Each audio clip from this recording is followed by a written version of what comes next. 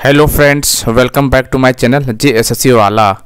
चलिए दोस्तों, सबसे पहले बात दोस्तों, आप लोग बहुत ज़्यादा पैनिक हो जाते हैं, ठीक है? कहीं कोई चैनल में जाकर देख लेते हैं, कोई वीडियो कि ऐसा डाल दिया कि अब एग्ज़ाम अभी नहीं होगा। काफ़ी लेट है, हो सकता दो हज़ार में निकल जाएगा। तो दोस्तों, खुद कॉमन सेंस लगाइए, आप लोग खुद पढ़े लिखे हैं, ऐसे बच्चे तो है नहीं। दो हज़ार तेईस निकल जाएगा तो आपको क्या लगता है, दो हज़ार चौबीस में एग्ज़ाम हो जाएगा? दो हज़ार चौबीस से तो पूरा चुनाव का प्रक्रिया होने वाला है। और आपको क्या लगता है, कोई मान मान ली कोई नया चेहरा आएगा दो हज़ार चौबीस में तक तुरंत आपको एग्ज़ाम ही ले लेगा? दो हज़ार तेईस में एग्ज़ाम नहीं होना, इसका मतलब दो हज़ार पच्चीस या छब्बीस में एग्ज़ाम होना। इतने दिन कौन रोकेगा, बताइए जरा।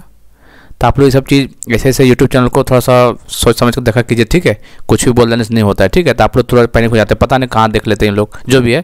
तो इसके लिए वीडियो बनाने चाहते थे तो क्या सच में न्यूज़ का मामला फंस गया है? कुछ फंसा उसा नहीं है, ठीक है? न्यूज़ मामला कुछ फंसा हुआ नहीं है। ये बस नौटंकी चल रहा है, रामगढ़ उपचुनाव का। ठीक है, कुछ किसका? रामगढ़ उपचुनाव का नोटंकी कर रहा है कि किसी तरह करके हम सत्ताईस फरवरी तक काम चला लें सरकार के करा, कुरा के जो भी है, ठीक है? और उसके बाद हम लोग जो करना वो कर लेंगे। क्योंकि देखिए दोस्तों, सब नेता मंत्री का, सबका बयान आपको देख सकते हैं यहाँ पे कि क्या बोला कि बजट सत्र में लाएगी सरकार नई नियोजन नीति। तो बजट सत्र में आना ही आना इसमें कोई दो राय नहीं है। बजट सत्र में नहीं आएगा तो पूरा झारखंड हिल जाएगा देखिएगा तो आप लोग। आप बस बने तो रहिए देखते रहिए आपको ठीक है? ऐसा कुछ नहीं, वो ऐसे बोलने नहीं होगा कि एग्ज़ाम अभी लेट है, लेट वगैरह कुछ नहीं, राजनीतिक है ही सब। राजनीतिक समझना बहुत आसान नहीं होता है। ये रामगढ़ उपचुनाव के आखिर हेमंत सोरेन जी को भी लग रहा है ना कि आखिर भाषण में तो बोलता है कि सब छात्र हमारे साथ हैं। तो फिर चुनाव में क्यों उतर गया बारह तेरह? कुछ तो सोचने वाली बात होगा ना, उसको कहीं ना कहीं डर बना रहा है।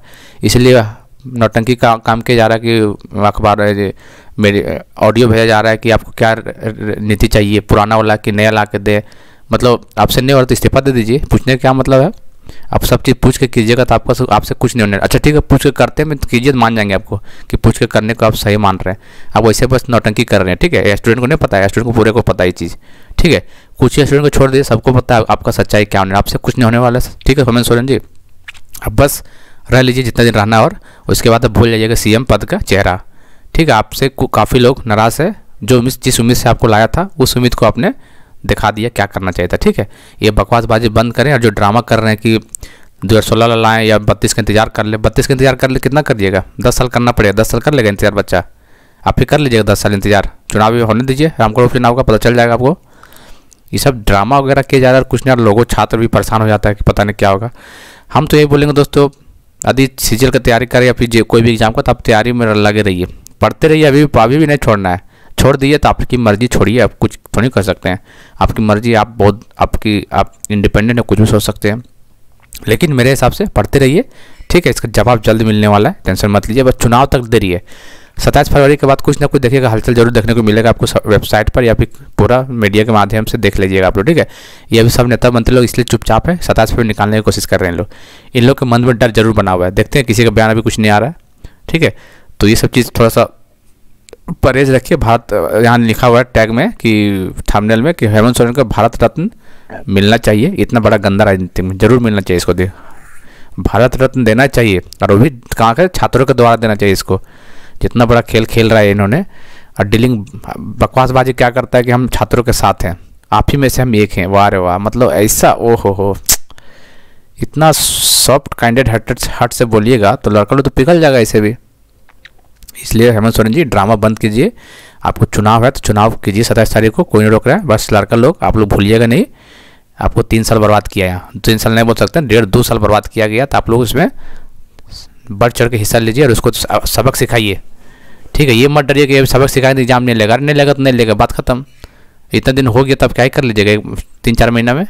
लेकिन आपको रामगढ़ उपचुनाव में आपको ज़्यादा से ज़्यादा मात्रा जोड़ना है और सबक सिखाने की कोशिश करना है। सबक सिखाने में सफल हो पाते हैं तो फिर आगे आने वाला कोई पार्टी इस तरह का रिस्क नहीं लेना चाहेगा और सब काम धड़ाधड़ धड़ाधड़ होगा।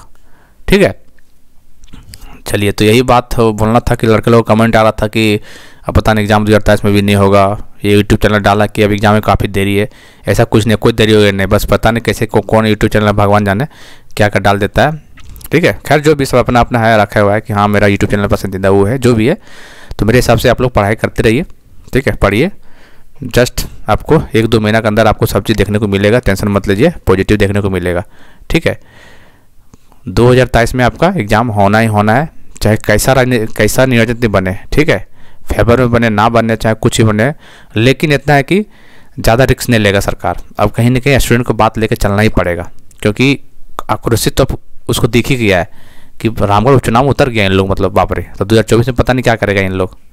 तो कहीं ना कहीं आप इस इस विचार, इस बात को सोचिए और अपना पढ़ाई में एज ए मोटिवेशन का काम करेगा और पढ़ाई कीजिए। ठीक है? बाकी झारखंड है, सब चीज़ है पॉसिबल देखते हैं क्या होता है, ठीक है? चलिए।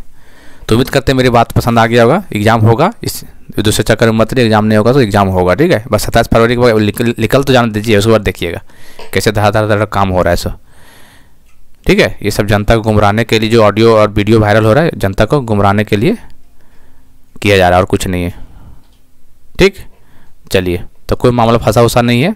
सब बन के आएगा टेंशन मत लीजिए। बस कुछ देर और धैर्य रखिए। बाकी जो देखा जाएगा, इतना दिन धैर्य रखें तो और दिन, थोड़ा दिन रख लीजिए। क्या फ़र्क पड़ता है? ठीक है? लेकिन ये बहुत हेमंत सोरेन जी बहुत गंदा राजनीति खेला, लेकिन ये उम्मीद उम्मीद नहीं था इनसे ऐसा राजनीति। खैर, जो भी है, अब तो खेल गया, अब तो कुछ कर भी नहीं सकते। ठीक है? चलिए, फिर मिलते हैं अगले वीडियो में। तब तक के लिए, जय हिंद। जय भारत और हमारे टेली और हमारे सब यूट्यूब चैनल को सब्सक्राइब कर लीजिएगा जाने से पहले ठीक है? चलिए।